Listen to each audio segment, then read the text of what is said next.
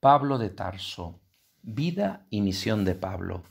Los judíos de la diáspora tenían con frecuencia dos nombres, uno hebreo, en este caso Saúl, y otro griego, Paulos, que en castellano ha dado lugar a Pablo. Saúl o Pablo no es mencionado nunca en la literatura contemporánea ni en las fuentes posteriores no cristianas. Todo lo que sabemos de él lo inferimos de sus cartas y con muchas dudas de los hechos de los apóstoles posteriores y poco fiables. Además, y como ha subrayado Jan Macobi, la imagen de Pablo que nos presentan los hechos de los apóstoles se parece poco a la de las epístolas. Su primera lengua era el griego y siempre escribió exclusivamente en griego. A diferencia de Filón de Alejandría, que asimiló la filosofía griega y trató de incorporarla al acervo cultural judaico, mostrando que coincidía con la Torá, la ley judía contenida en los cinco primeros libros de la Biblia, bien interpretada, Pablo se mostraba ignorante y despreciativo de la filosofía, a la que rechazaba de plano, aunque influido por la cultura popular helenística de las clases bajas, ignoraba cualquier sutileza filosófica. Unos seis años después de la crucifixión de Jesús, durante un viaje a Damasco, Pablo tuvo una alucinación en la que se le apareció Jesús, a quien él nunca llegó a conocer personalmente. Como consecuencia, Pablo se convirtió a la secta judeocristiana. La descripción que se hace del suceso se parece mucho a la de un ataque de epilepsia. La visión de luces y audición de voces, el desvanecimiento, la caída y la pérdida de la vista durante varios días son síntomas, como ya había señalado William James, de epilepsia.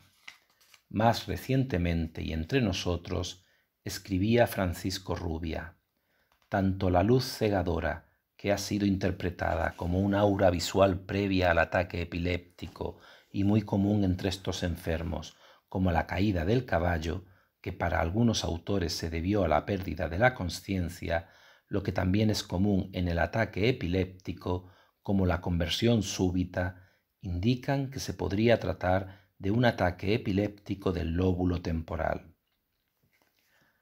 Apóstolos en griego significa emisario, comisionado.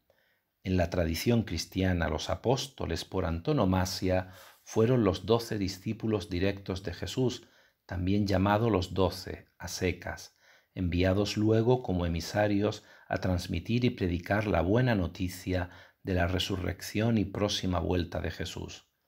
Pablo no era un discípulo directo de Jesús y ni siquiera lo había conocido, pero se autoproclamó apóstol de los gentiles y en efecto hizo más que nadie para extender el cristianismo entre los paganos.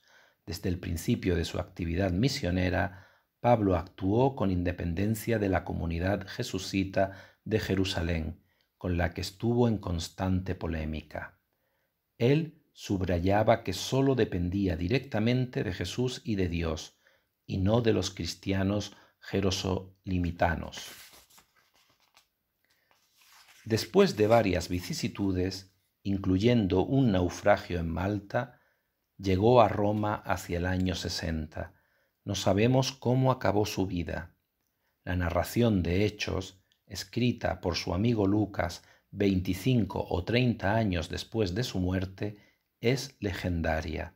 En cualquier caso, no menciona para nada el supuesto martirio que Pablo habría sufrido en Roma según la tradición posterior. La obra Hechos termina con una curiosamente idílica descripción de los dos últimos años de Pablo en Roma. De todos modos, pronto la conversión de los gentiles se convirtió en un fin en sí mismo, conforme la figura del Jesús Nazareno iba siendo sustituida por la del Cristo Redentor Universal.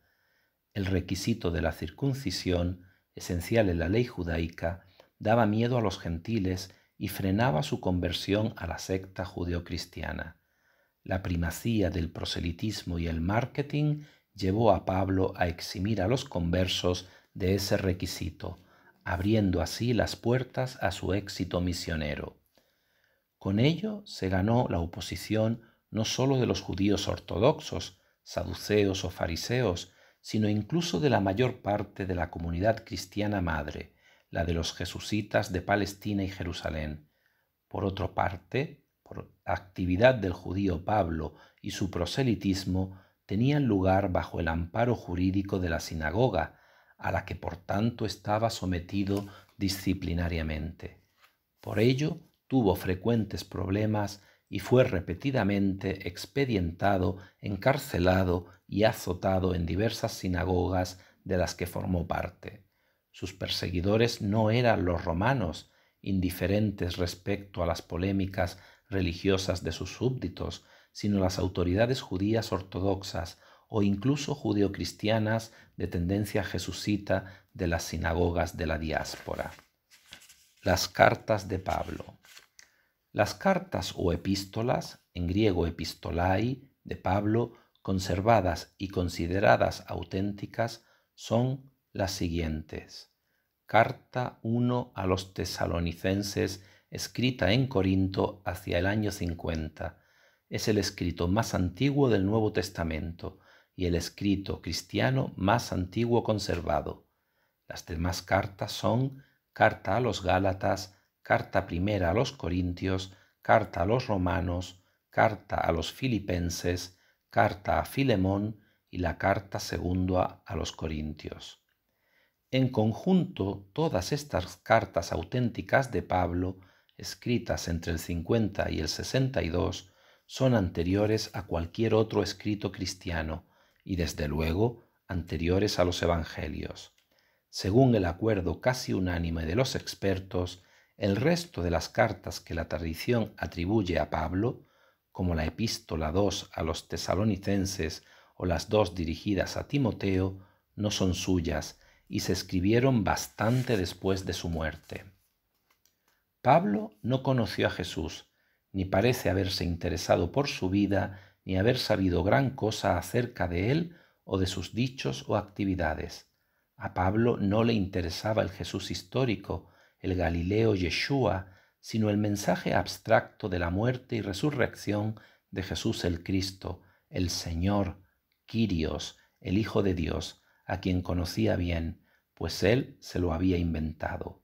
Las expectativas apocalípticas se habían cumplido y una nueva época de salvación había comenzado, en la que la antigua ley judía había quedado superada por la fe en Cristo.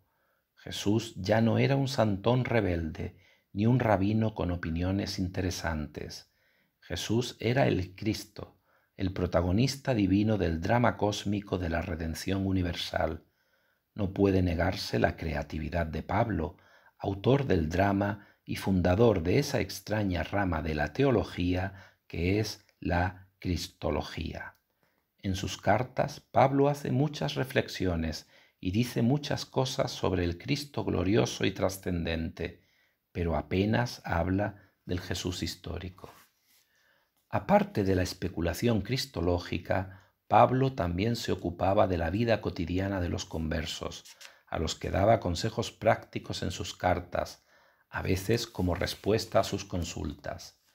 Él no tenía la relajada actitud de Jesús ante las mujeres, ni se había casado como los discípulos de Jesús. Pablo era soltero y casto, y eso es lo que recomendaba a los demás, pero si no podían, les permitía también que se casaran. Paulina es la idea de que uno no se pertenece a sí mismo, ni su cuerpo ni su vida le pertenecen a uno, pues Dios los ha comprado con la redención, muriendo en la cruz. Ahí está el punto de partida o la excusa de la obcecada oposición de los fundamentalistas cristianos actuales al aborto y la eutanasia, aunque él nunca habló de esos temas. Sin embargo, Pablo, que vivía en la esperanza enfebrecida de la inminente vuelta del Cristo, no se preocupaba especialmente por las minucias del erotismo y nunca llegó a los extremos de obsesión antisexual que caracterizarían a Agustín de Hipona tres siglos más tarde. También aparecen en las cartas de Pablo opiniones y consejos que subordinan las mujeres a los hombres, lo cual, por otro lado, no era especialmente original en el mundo de la sinagoga en que se desenvolvía. Adaptación al imperio romano. Convencido de sus nuevas ideas judeocristianas, que en sus manos pasarían a ser cristianas a secas, la principal preocupación de Pablo era el marketing, el asegurar a cualquier precio la extensión del mensaje cristiano paulino entre los gentiles del imperio romano. La primera dificultad con que se enfrentaba era la fama de subversivos y peligrosos que los cristianos tenían entre las autoridades establecidas, debido a las circunstancias de la muerte de Jesús ajusticiado por rebeldía. Pablo trató de borrar la huella del carácter antiautoritario y socialmente conflictivo de Jesús. Por ello, aconsejó a los cristianos tener la conducta menos provocativa posible, presentándose siempre como pacíficos, obedientes a la autoridad establecida, socialmente conformistas, sumisos y leales al imperio. Incluso los esclavos tenían que aceptar su condición y aguantar con paciencia los posibles malos tratos que sufrieran. Siga cada uno en el estado en que Dios lo llamó. Te llamó Dios de esclavo, no te importe, aunque si de hecho puedes obtener la libertad, aprovechate, porque si el Señor llama a un esclavo, el Señor le da la libertad, y lo mismo si llama a uno libre, es esclavo de Cristo hermanos, cada uno siga ante Dios en la condición en que lo llamaron.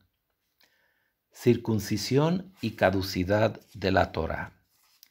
El miedo y el rechazo que producía entre los gentiles la exigencia de la circuncisión mantenían a los temerosos de Dios en la periferia de la sinagoga. No se animaban a circuncidarse y adoptar toda la ley judía, con su pesada casuística, convirtiéndose así en prosélitos. El sentido del marketing de Pablo le hizo comprender desde el principio que la expansión exitosa del cristianismo en el ancho mundo helenístico romano pasaba por facilitar la entrada a los gentiles, eximiéndoles de la obligación de circuncidarse y de los otros preceptos de la ley. El gran problema de la expansiva y misionera secta judeocristiana durante el primer siglo de su existencia se planteaba así. ¿Cómo se podía admitir a paganos en una secta judía sin obligarlos a aceptar todo el yugo de la Torá, la circuncisión, el Shabbat estricto, las reglas minuciosas de pureza ritual y de alimentación kosher, los pilares de la comunidad jesucita de Jerusalén, como Jacobo, el hermano del Señor, o Simón Kefas, alias Pedro, eran judíos piadosos y consideraban obvio que los paganos y temerosos de Dios que se convirtieran a la secta judeocristiana debían aceptar todo el peso de la Torá. Pablo pensaba lo contrario. Los gentiles podían ser admitidos en la secta cristiana con tal de que aceptasen el mensaje paulino de la mesianidad divina de Cristo sin necesidad de tener que someterse al yugo de la ley. La Torá, sobre todo el trauma de la circuncisión de los prosélitos adultos y la casuística arcaica de las leyes alimentarias, estorbaba a la conversión de los temerosos de Dios, que se sentían atraídos por el mensaje monoteísta judío y la promesa cristiana de resurrección, pero vacilaban en pagar el alto coste de entrada en la sinagoga.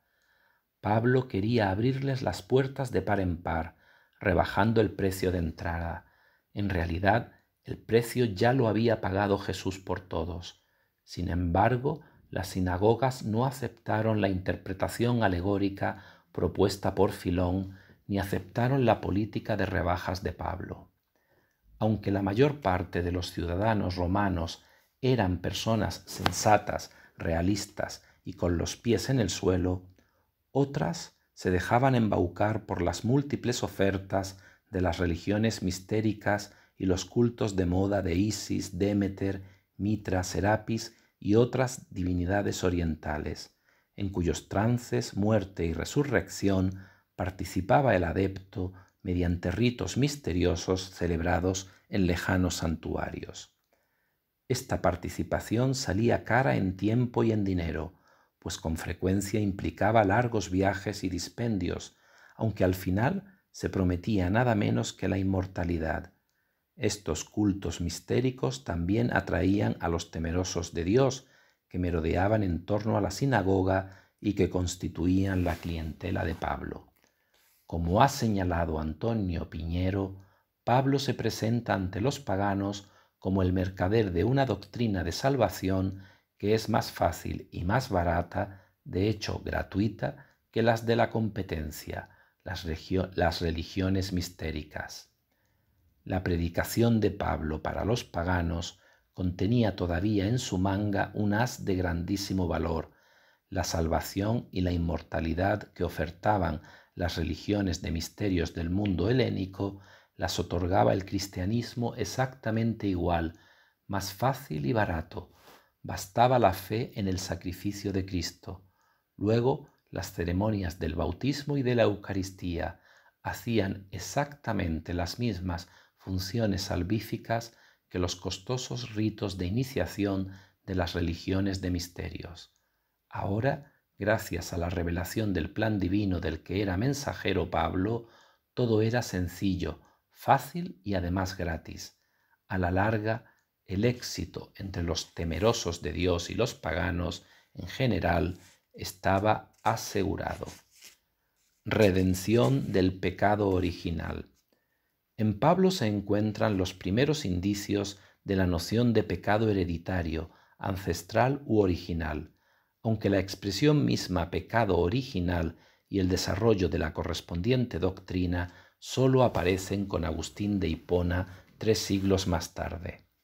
Enlazando con el mito hebreo de Adán, Pablo considera no sólo que Adán cometió el más grave de los pecados al comer el fruto prohibido, cosa a todas luces sacada de quicio, sino que incluso todos sus descendientes, la humanidad entera, por el mero hecho de serlo, han heredado la culpa y son reos de muerte, cosa tan absurda que nunca se había planteado siquiera en el judaísmo, ni se plantearía luego en el Islam.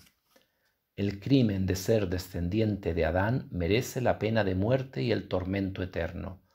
El crimen es tan grave porque Adán, con su desobediencia respecto al fruto, ofendió a Dios. Esa ofensa es infinita, y merece un castigo infinito e inacabable. La única posibilidad de escapar al castigo consiste en que Dios mismo o su Hijo se ofrezca a sí mismo como chivo expiatorio que cargue sobre sus hombros la culpa y el pecado de los hombres. Ese chivo expiatorio que nos redime del pecado hereditario es el Redentor, el Cristo Jesús. Jesús había predicado la inminente llegada del reino de Dios, pero el cristianismo primitivo cambió de óptica, fijándose no tanto en el mensaje como en el mensajero. En la famosa frase de Rudolf Bultmann, el proclamador se transformó en el proclamado. Pablo inventó el drama cósmico de la redención de la humanidad y transformó la noción judía del Mesías liberador militar de su pueblo en una figura divina y sacrificial llamada a liberar a todos los pueblos del pecado y de la muerte. Según Pablo, Dios, no como juez, sino como soberano, puede indultar a los hombres pecadores a base de ofrecerse a sí mismo un sacrificio expiatorio que aplaque su ira divina. En efecto, los hombres son incapaces de purgar su culpa por sí mismos, de ofrecer un sacrificio de la suficiente importancia y, valor. Dios se ofrece a sí mismo el sacrificio de su propio Hijo, Jesús, que Él sí tiene bastante enjundia para aplacar al Padre. El efecto de ese sacrificio es el indulto de los pecadores, la salvación de los hombres, pero sólo a condición de tener fe en el Mesías Jesús, el Cordero de Dios que quita los pecados del mundo. Los judíos pensaban que el cumplimiento de la ley produciría un mérito que salvaría al hombre. Pero eso es vanidad y orgullo desorbitado, según Pablo. El hombre está tan caído por el pecado de Adán que no puede acumular mérito alguno. El indulto o amnistía de sus pecados que recibe de Dios no se debe a sus obras ni méritos, sino sólo al valor infinito del sacrificio de Jesús, lo único capaz de lavar la ofensa infinita, no por quien la hace, sino de aquel a quien se hizo. Pablo procedió a una fantástica reinterpretación del término Christos, Cristo, de ser simplemente la traducción griega del concepto hebreo de Mesías, Mashiach, el liberador militar de Israel y el restaurador, el restaurador del reino de Dios sobre la tierra prometida, algo peligroso para el dominio romano, pasó a expresar una noción completamente nueva y desconocida por el judaísmo del que Jesús había formado parte, la idea de un redentor universal del presunto pecado hereditario de toda la humanidad una idea confusa y despreciable para los romanos que no verían en ella ningún tipo de peligro. Richard Dawkins ha criticado con gracia y sentido común el demencial sadomasoquismo de esta doctrina. Dios se encarnó como hombre Jesús para que pudiera ser torturado y ejecutado como expiación del pecado heredado de Adán. A partir de que San Pablo expusiera su repelente doctrina, Jesús ha sido adorado como el redentor de nuestros pecados. He descrito la expiación, la doctrina central del cristianismo, como cruel, sadomasoquista y repelente. También podríamos desestimarla por ser una locura. Si Dios quería perdonar nuestros pecados, ¿por qué no perdonarlos simplemente sin tener que ser torturado y ejecutado en pago? ¿A quién trataba Dios de, impresionar? Probablemente a sí mismo, juez y jurado, así como víctima de la ejecución. Para coronarlo todo, Adán, el supuesto perpetrador del pecado original, nunca existió, un hecho embarazoso, excusablemente desconocido para San Pablo, pero tal vez conocido para un Dios omnisciente. Oh, pero por supuesto, la historia de Adán y Eva siempre ha sido simbólica, ¿no? Simbólica. Así que, para impresionarse a sí mismo, hizo Jesús que lo torturaran y ejecutaran como chivo expiatorio por un pecado simbólico cometido por un individuo inexistente, como ya he dicho, una locura.